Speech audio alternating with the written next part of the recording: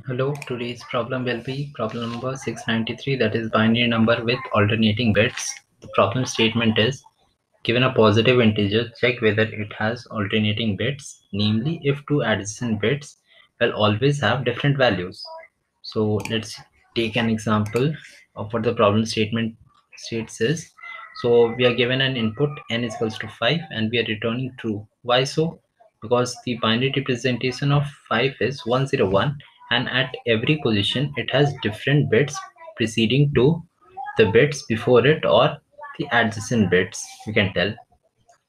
So at 0 we have 1 at 1 we have 0 so the uh, next uh, positions bit is 1 so this should return as true.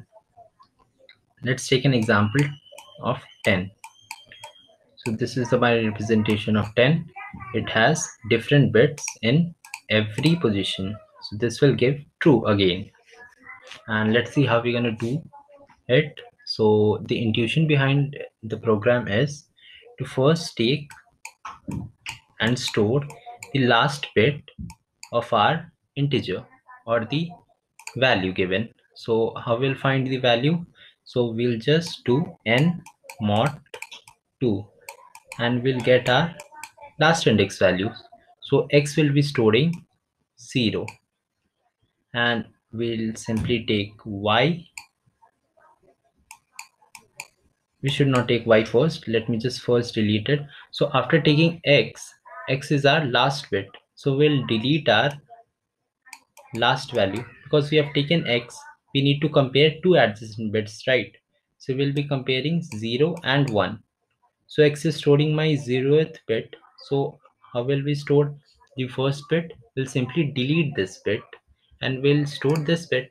So n is equals to n by 2 so the zeroth bit is deleted now. So this is deleted. Our current bit look like this. 101 so we'll store y is equals to n mod 2 so this will store my this bit this is our last bit right now.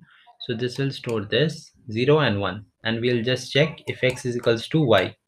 So if x is equals to y then we'll be returning false or else we will be returning true. So this is our total algorithm. So let me just show it in the code how we are going to do that so in the code we have taken a quite a bit uh, different approach than it just to save some more time. So as we were here we were in the while loop. This whole part was executing in the while loop. This whole part. So as we can see the x and the y these are getting repeated. We do not need two variables to be repeated again and again. We can do it with just one. Though we'll be requiring two variables to store the value of x and y or the current and the previous values but we can do this in only one operation and store it. So how are we going to do that? Let me just erase this. Okay.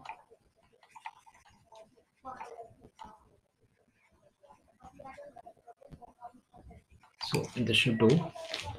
Again we'll be taking an example of 1010 that is 10 1010 so first we will store the last bit in our x value or x variable that is n mod 2 and then we'll, we'll uh, we will enter our while loop. This is our while loop w. So this is our while loop. Let's take this as our while loop. And what we will do is we will store y is equals to x. And why we are doing this i'll just get to it. Y is equals to x. And then what we'll do is we'll just delete the last element like what we were doing in the previous example that I showed you. So we'll just delete the last element and how we can do that?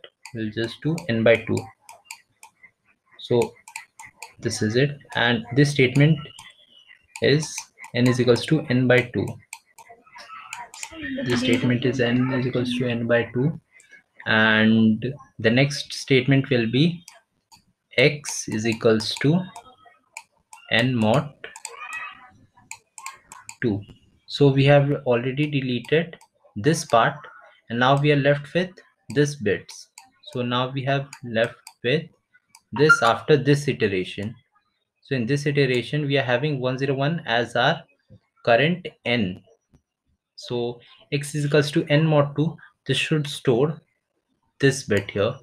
So we'll store this bit here and we'll be comparing y is equals to is equals to x. And y is equals to is equals to x. So what was y's value? Y's value was the previous value here which we deleted. That is 0 so y's value was 0 and x's value is 1 so is 0 is equals to 1 no. So we'll continue and if y is equals to x that means if there were to be 0 instead of 1 then if this is 1 0 0 and this is also 0 or this could be 1 even.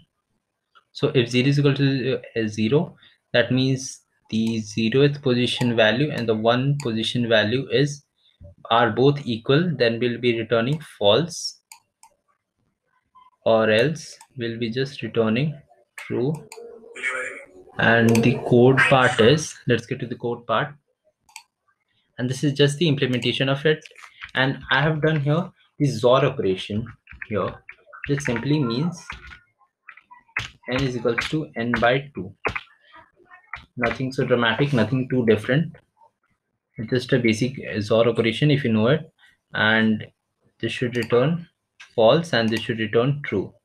So what i'm doing here is i'm just taking the last index value i'll be iterating over the loop and then I'll be storing y is equals to x that was done here y is equals to x which will store my previous and current value of the bits. And then I'll be returning. So let's run the code.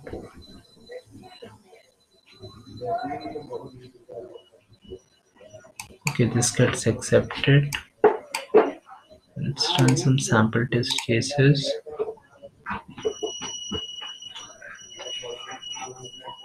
And let's submit it.